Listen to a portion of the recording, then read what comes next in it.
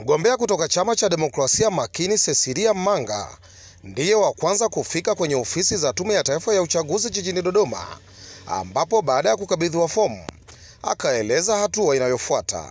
Kwanza tuna kazi kubwa ambayo iko mbele yetu ya kutembea mikoa kumi ya Tanzania nzima, Zanzibar miwili, bara minane kwa ajili ya kutafuta wadhamini.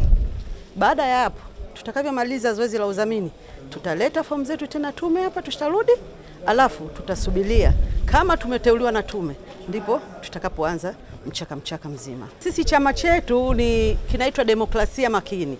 Maana ya makini ni maarifa, kilimo na nishati. Sasa kwa sababu wananchi wengi walia chini au wakulima wengi walia chini, usafiri wetu ni wa bajaji. Tumetaka na bodaboda, tumekuja na bajaji na bodaboda, tumetaka kuuzirishia umma watakaponiteua mimi kama mama na pia kwa sababu wengi wamezoea kuniita mama ushauri ama THT, mama wa vipaji.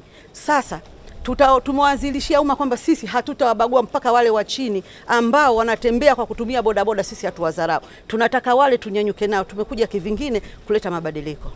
Kisha akafuatiwa na mgombea urais wa chama cha demokrasia na maendeleo Chadema Tundu Lissu.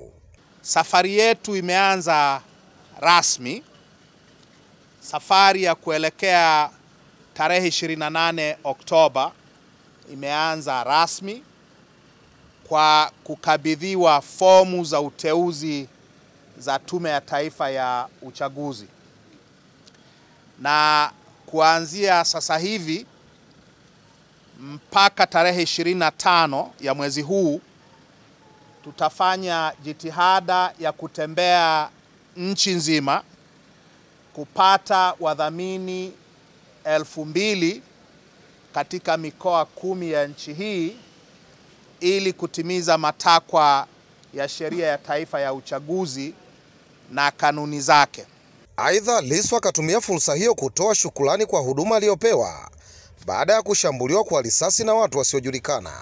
Bila wao kufanya walioyafanya, pengine siku ya leo isingekuwepo. Kwa hiyo niwashukuru madaktari, wauguzi na wafanyakazi wa hospitali ya mkoa wa Dodoma.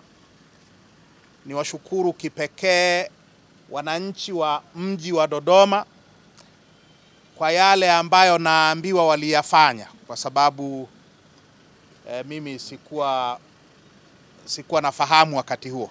Kutoka jijini Dodoma, Brian Moses, Star TV.